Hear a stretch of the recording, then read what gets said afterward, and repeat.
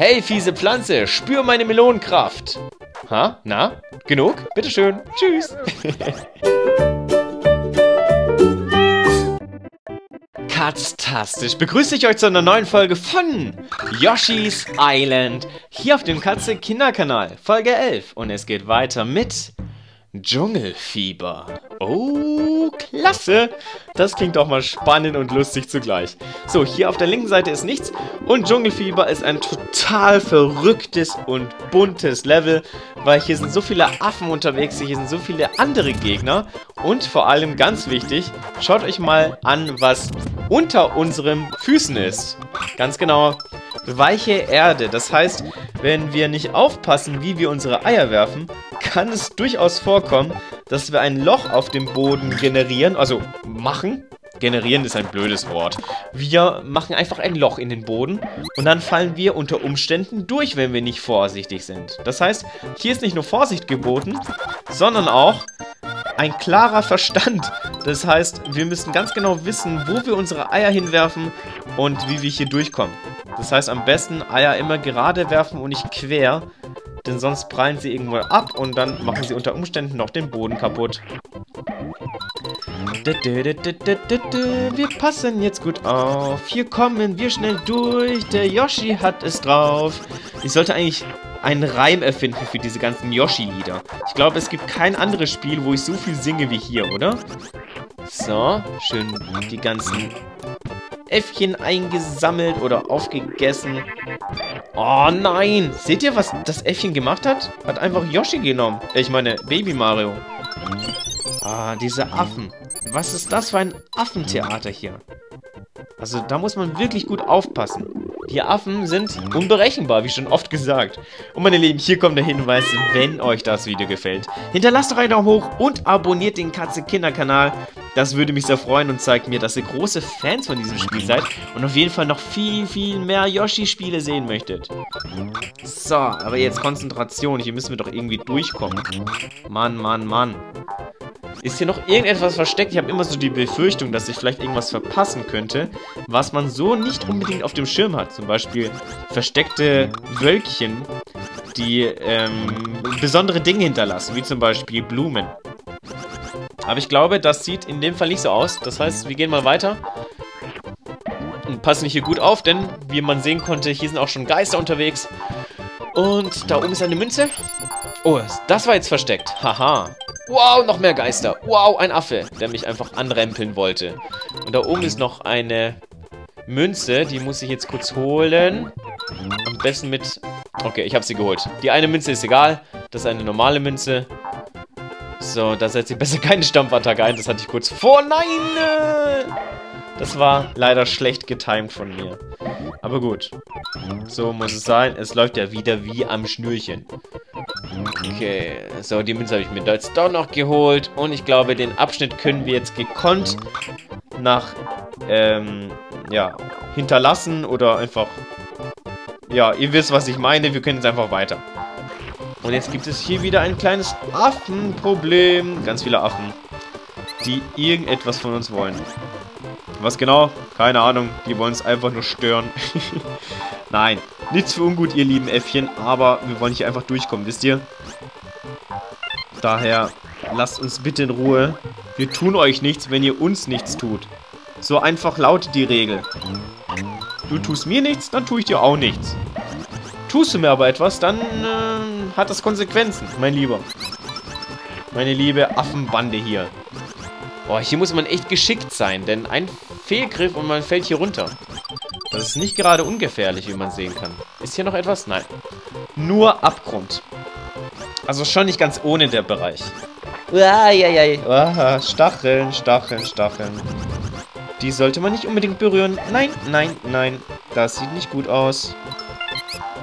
So. Wow. Und, oh, sehr gut. Die Münze habe ich bekommen.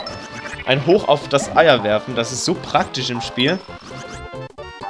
Und gibt's da was? Kann ich da nicht rein? Nein, schade. Die Roh das Rohr ist blockiert. Okay. Nicht schlimm. Jetzt hört wenigstens mal das komische Geräusch von diesen Karusselldingern auf. Das ist ja auch immer so ein bisschen nervig, so ganz halt dieses Und es fängt wieder an. Das Karussellgeräusch war kurz da. ähm, okay, mehr scheint hier nicht zu sein. Ich habe immer so...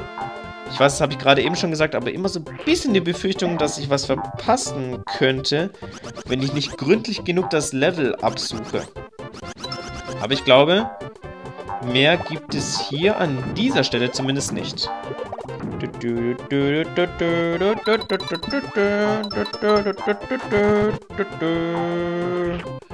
So. Sehr schön. Da ist auf jeden Fall noch eine Blume und das sind rote Münzen, glaube ich. Ja? Ah, sehr gut. So war der Trick. Man kommt da, glaube ich, nicht mit einem Ei durch, sondern nur mit einer Melone. So, und keine rote Münze hier. Egal. Dafür hier gibt es... Dafür gibt es hier, meine ich, vier Stück an der Zahl. Nehmen wir alle mit. Wie sollte es anders sein? Und was haben wir hier Schönes? Natürlich eine Blume. Und auch die haben wir uns gesichert. So, dann lass uns mal hier vorsichtig weiter. Aber wirklich vorsichtig. Denn sonst gibt es hier nochmal Ärger.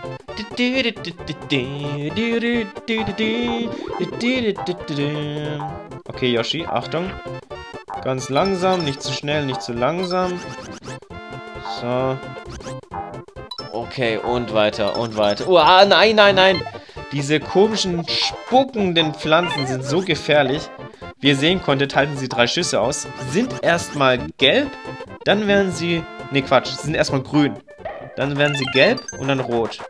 Wenn sie rot sind, heißt das, man kann sie mit einem Schlag bezwingen. Und die können schon hartnäckig sein. Vor allem ihre, ihre, ja, ihre Reichweite mit diesen Schüssen kann manchmal etwas ärgerlich sein. So, mir fehlt noch eine Blume. Wo habe ich denn bitte eine Blume verpasst?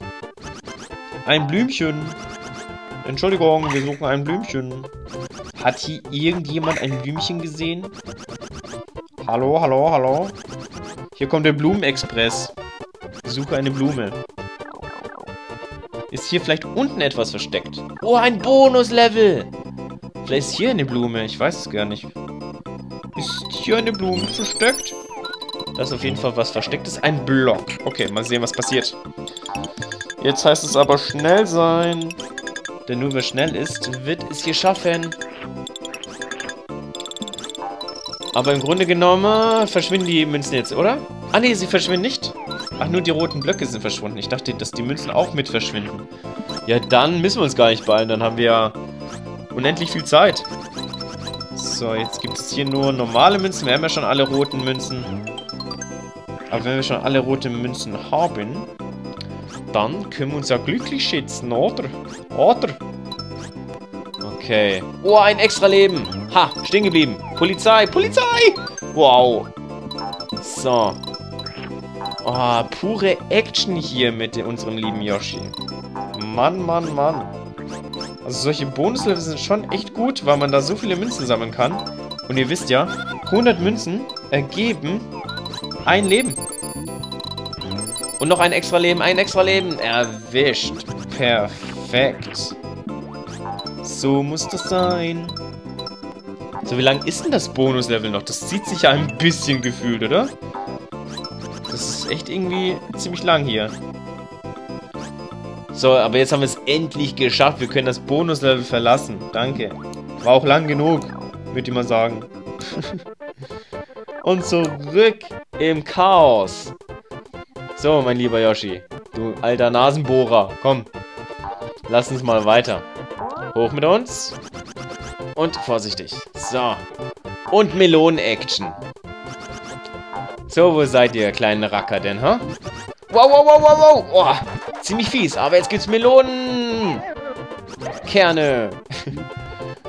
Nochmal so eine fiese Pflanze.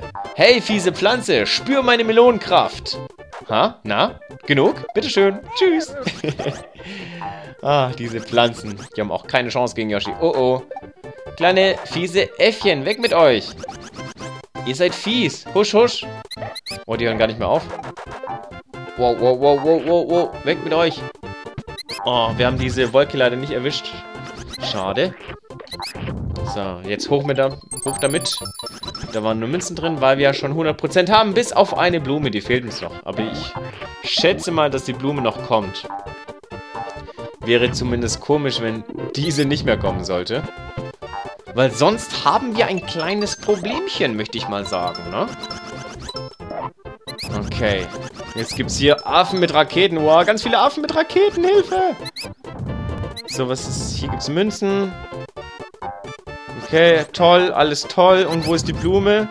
Hallo? Hat jemand eine Blume gesehen? Toll. Da ist die Blume. Ich habe sie gesehen. Ich habe sie gesehen. Habt ihr sie auch gesehen? Da ist die letzte Blume. So, hier. Haben wir dich. Wir haben alles geschafft. Jetzt müssen wir hier nur noch unversehrt rauskommen. Vorbei an den ganzen Affen. Und dann können wir das Level auch wirklich mit 100% abschließen. Und uns richtig freuen. Wie ein echter Burg-Burg. Wisst ihr, wen ich mit Burg-Burg meine? Wenn ihr nicht wisst, wer Burg-Burg ist, dann schaut euch die letzte Folge an. Und alle, die die letzte Folge gesehen haben, schreibt doch mal in die Kommentare, wer Burg-Burg ist. Oder habt ihr schon vergessen? Bonuslevel! Wir spielen ein Bonuslevel. Bonuslevel sind richtig toll. Da kann man so viel bekommen. Entweder tolle oder eine Vielzahl an Leben, aber auch tolle Items. Memory. Jede Karte gibt es zweimal. Finde beide und du bekommst einen Gegenstand. Du kannst so lange spielen, bis du zweimal daneben gelegen hast. Okay, okay, Memory. Kennt jeder von uns? Jeder schon mal Memory gespielt?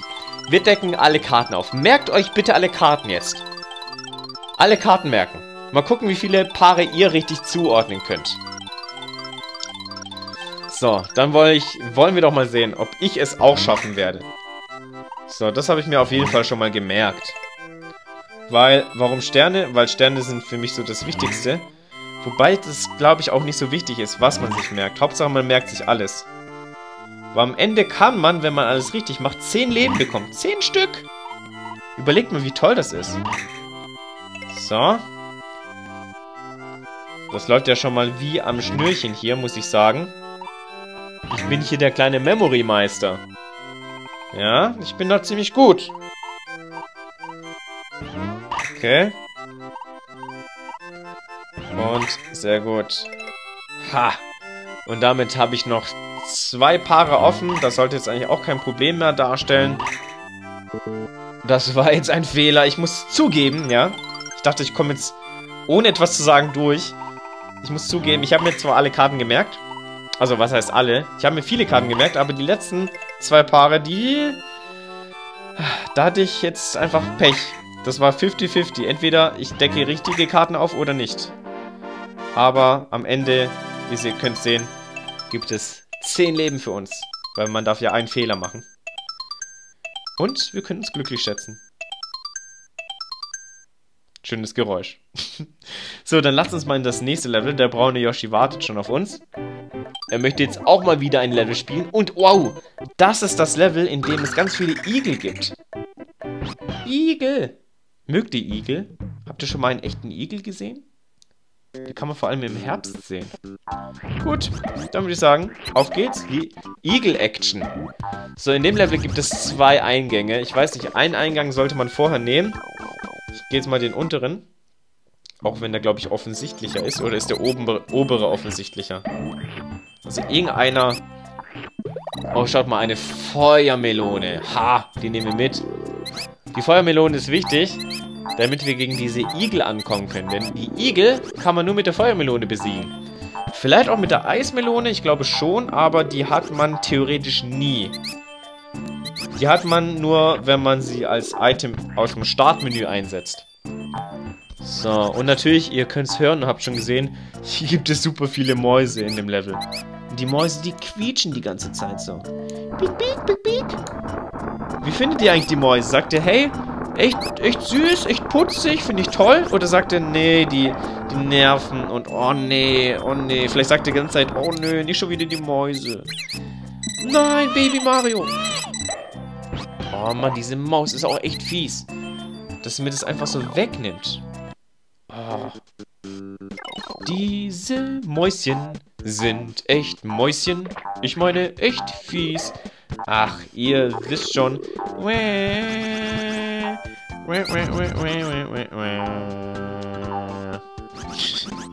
Ach ja, ich bin so ein richtiger Meistersänger. So, rein mit uns. Was gibt es jetzt hier Schönes? Eine Blume erst einmal. Das ist doch schon mal ein guter Start, denn Blumen sind super duper wichtig. Dö, dö, dö, geheimnisvoll.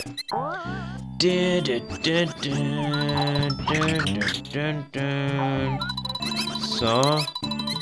Achtung, Achtung. Oh, ich will diese Blume mit einem Ei füttern. Komm schon. Das muss doch irgendwann funktionieren, oder? Kann ich so schlecht werfen? Jetzt, ha. Sehr gut erwischt. Jetzt gibt es ganz viele Sternenkinder. Ganz viele Sternenkinder. Sternenkinder. Ganz viele Sternenkinder. So, Achtung, Achtung, Achtung. Ja, ja, ein Igel, ein Igel, ein Igel. Achtung, die können sich groß machen, wenn man sie überrascht. Das ist so, sozusagen ihre Verteidigung. Jedes Tier hat so eine Art und Weise, wie es sich verteidigt im Notfall. Manche rennen weg, manche setzen Stacheln ein oder was auch immer. Oder tarnen sich und so ein Igel kann sich einfach groß machen und sich aufplustern. So, schaut mal, da plustert sich ein Igel auf. So, hey, komm, pluster dich auf. Aber verbrannt. Einfach so verbrannt. Ja, Yoshi, du bist fies. Aber ich meine, was sollen wir tun? Geht eben nicht anders. Manchmal muss man eben zu Mitteln greifen, die nicht gerade sehr schön sind. Zumindest in Videospielen. So. Quick, quick, quick, quick. Dieses süße Quick, quick Geräusch. Tja, was bringt uns eigentlich dieser Stein hier? Brauchen wir den überhaupt? Ich glaube schon. Um da hochzukommen. Ja, hier brauchen wir den Stein. Ohne Stein würden wir hier niemals hochkommen. Niemals! Never ever. Und jetzt gibt es hier wieder Schallgas aus der Röhre. So, wo fangen wir an? Wir gehen erstmal da hoch. Wir brauchen erstmal eine Sonnenblume. Sonnenblumen können echt praktisch sein. Stellt euch jetzt mal vor, das ist eine total komische Frage, dass es in echt auch so große Sonnenblumen gibt, auf denen man rumklettern könnte. Könnt ihr euch das vorstellen? Eigentlich sollte man mal ein Bild zeichnen von einer Sonnenblume, mit ganz vielen Menschen, die auf diese Sonnenblume hochklettern. Und ganz oben gibt es, weiß ich nicht, kann man sich dann ausdenken. Da kann jeder eigens kreativ werden. Aber jetzt heißt es erstmal Maulwurf-Action. Denn wir wollen uns zu der Blume graben. Nicht nur zu der Blume. Hier gibt es natürlich noch viel mehr zu entdecken. Die Frage ist nur was. Wir finden das heraus. Sonst wären wir ja nicht umsonst. Der Wühl-Yoshi. Oh nein, meine Zeit, meine Zeit. Ha. Na gut, richtig knapp war das an dieser Stelle nicht. Aber wenn die Zeit läuft, dann sollte man sich trotzdem beeilen. Ach, diese Laternenfreunde sind auch immer echt toll. Laternenfreunde. Poink. Und ein Sternkreis. Nehmen wir mit. Und ist das die letzte Blume schon? Nein, war noch nicht die letzte Blume. So, was haben wir hier? Wir haben alle Münzen, aber haben wir auch alle Sterne? Nee, Blume. Uns fehlt noch eine Blume. Ist die da unten vielleicht? Hallo, hallo, hallo? Vielleicht hier in der Röhre. Wow. Ja, da ist die Blume. Und ein extra Level. Es wird ganz viel eingesammelt. Münzen. Wow, hier können wir extrem viele Münzen sammeln. Und gleich nochmal drauf. Oder kommen wir durch? Ah, ich glaube, wisst ihr was? Ich glaube, ich hätte es mal aktivieren sollen. Weil sonst fällt der Schalter runter, oder? Habe ich das richtig gesehen? Ja, der Schalter ist runtergefallen. Toll, Pustekuchen, toll, toll, toll. Aber, abgesehen davon, haben wir jetzt alles. 100%. Raus mit uns. Wir haben es geschafft. Jetzt müssen wir nur noch dieses sagenumwobene Level abschließen. Hilfe, ein Igel. Und wie ihr sehen könnt, mit Eiern funktioniert das gar nicht, sondern nur mit Feuerkraft. Perfekt. Und rein mit uns. Und hier drinnen gibt es gar nichts, denn jetzt sind wir draußen und nicht mehr drin. Und da ist auch schon das Ziel, oder? Ah, nee, Moment. Es gibt noch ein paar Bonussachen hier im Spiel. Zumindest in dem Level. Die wir noch einsammeln können, bevor wir das Level verlassen. Weil immerhin, ich möchte es nochmal sagen, 100% haben wir ja schon. Aber hier gibt es noch etwas, Und das wollen wir uns mal genauer ansehen. Das heißt, wir klettern hier hoch und schauen uns das Ganze an. Mit der Stampfattacke, so als kleiner Tipp, könnt ihr dazu könnt ihr die Blume dazu bringen, gleich mehrere Eier auf einmal auszuspucken. Ja, und wo ist jetzt der geheime Schalter für die äh, Münzen? Also das habe ich jetzt noch nicht ganz verstanden. Ja, hier ist das Ziel, toll. Ähm, nochmal zurück. Wo ist der geheime Schalter? Hallo? Ähm, Entschuldigung, geheimer Schalter, wo sind Sie? Wo haben Sie sich bitte versteckt? Können Sie mal bitte kurz Ihr wahres Gesicht zeigen? Entschuldigung, Herr Schalter. Herr Schalter, allein die Bezeichnung. Hallo, Herr Schalter. Hallo, mein Name ist Herr Schalter. Ähm, hier dann irgendwo? Aha. Da ist der Schalter. Jetzt gibt es ganz viele Münzen. Verhältnismäßig viele zumindest. So, Moment. Aha, ja, ja, ja. Jetzt habe ich leider ein paar verpasst. Aber gar nicht so viele. Nur fünf habe ich verpasst. Okay, ins Ziel mit uns. Hier, bitteschön. Roter Yoshi. Oder dunkelrot oder weinfarbener Yoshi, wie auch immer. Bonuslevel. Ha! Yes! Super! Wir kommen ins Bonuslevel. 30, 20 und 50. 100 Punkte. Yeah! Highscore geknackt. Okay, was heißt geknackt? Wir haben erst eingesetzt, aber das ist auch schon die Höchstpunktzahl für uns. Memory. Jede Karte gibt es zweimal. Okay, das muss nicht nochmal erklärt werden. Das kennen wir ja bereits. Okay, das heißt, konzentriert uns, äh, konzentriert euch, wir spielen jetzt gemeinsam Memory. Also spielt gleich mit, versucht auch so viele wie möglich aufzudecken. Die grüne Melone ist ziemlich einfach, die roten eigentlich auch. Okay, da, oh, Fragezeichen, Wölkchen und Powerblock. Oh Gott, oh Gott, oh Gott, oh Gott, oh Gott, oh Gott, oh Gott. Okay, nochmal, ganz langsam. Erstmal das, was kompliziert ist. So. Weil die anderen, die nebeneinander stehen, die sind ja ziemlich einfach. Die kann man eigentlich später machen, wenn man dann keine Paare mehr findet. Eigentlich kann man es auch gleich... Eigentlich ist es egal. Hauptsache, wir kriegen das irgendwie hin. So, jetzt nächster Schritt. Grüne Melone. War genau daneben, von daher kein Problem.